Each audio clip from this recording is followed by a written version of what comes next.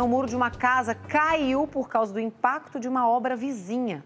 Os moradores reclamam do transtorno que já dura cerca de um mês. Reclamam também da falta de fiscalização e cobram providência. Leonardo Gonçalves mostra pra gente. O seu Marcelo não tem mais segurança e nem privacidade na casa dele.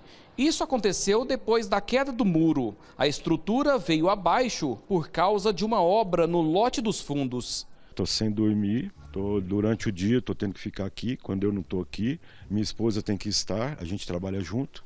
Então a gente reveza, eu e ela. O seu Marcelo está com essa dor de cabeça há cerca de um mês. O muro caiu no dia 1 de março. No dia da queda, os bombeiros estiveram aqui no local.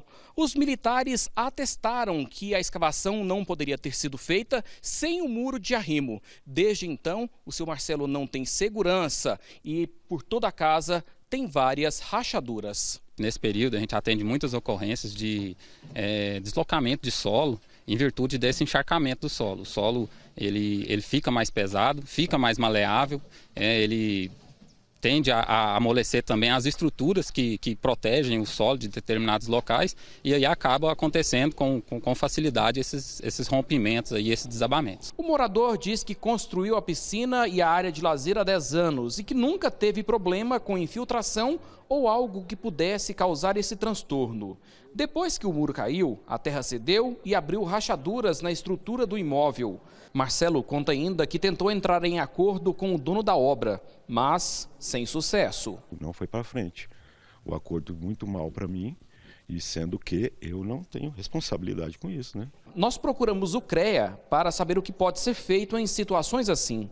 A gente vai responder ao ao vizinho que fez a denúncia que ele pode estar procurando um profissional para estar elaborando um laudo técnico, levantando todas essas irregularidades que podem estar causando prejuízos ou que possa vir causar na sua edificação. É, de posse desse laudo, ele pode dar continuidade na denúncia aqui no Conselho. Para não ficar no prejuízo, o Marcelo até registrou uma denúncia no CREA. No meu modo de entender, eu acho que o, a, o estudo de impacto de vizinhança serve para isso, né? Eu não tenho responsabilidade nenhuma com isso.